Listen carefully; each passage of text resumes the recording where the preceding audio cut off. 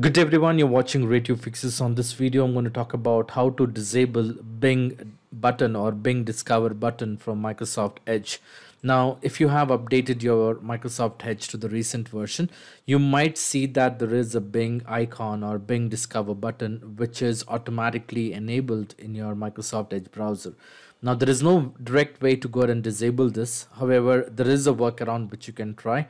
Now there is a registry fix which you need to uh, try, uh, apply on your computer. To open registry editor you may click on the search and uh, in the search you can go ahead and type registry editor. As a best match you will see registry editor. Another way of opening the registry is by pressing windows and R key simultaneously and in the run window you can go ahead and type regedit. Now for the demonstration purpose I'm going to use this method open registry editor. In case if you get user access control prompt you may click on yes or continue on the screen. Now once you have the registry editor open, please make sure you follow the steps carefully in case if you make any um, unnecessary changes, there are chances that your computer or the application may not function properly. So make sure you follow these steps carefully. So once you have the registry editor open, um, you will see all these five different directories under computer. Now once you are here, uh, you will have to expand HKey local machine. Once you expand HKey local machine, expand software. Once you have software, you will have to look for policies which will be in alphabetical order. And once you have policies expand Microsoft. Under Microsoft uh, check if there is a folder by name Edge. In case if there is no folder by name Edge what you can do is you can do a right click click on new and then click on key and create a folder by name Edge and hit enter. Once you have created the folder in the empty space on the right hand side of this window uh, you will have to go and create a new 32-bit value so what you will do is you will do a right click click on new and select dword 32-bit value. Even though you have computer which is 64-bit, make sure you select 32-bit, hit and uh, select 32-bit and go ahead and type uh, this text in the 32-bit uh, dword value. It is hubs sidebar enable and hit enter. Now here, make sure double click on it, make sure the value data has been set to zero. Once you click on OK, you can minimize registry editor. You can try to close the Microsoft Edge and then try to launch Microsoft Edge. You should be not be seeing the Bing Discover bar or the Bing icon at the top right corner of your Microsoft Edge. So this is how you can go ahead and disable Microsoft Bing Discover icon from Microsoft Edge. In case if you want to uh, revert the changes, all you do is uh, you can go back to the registry to the same location, delete the Edge folder by doing a right click and delete, close registry editor, open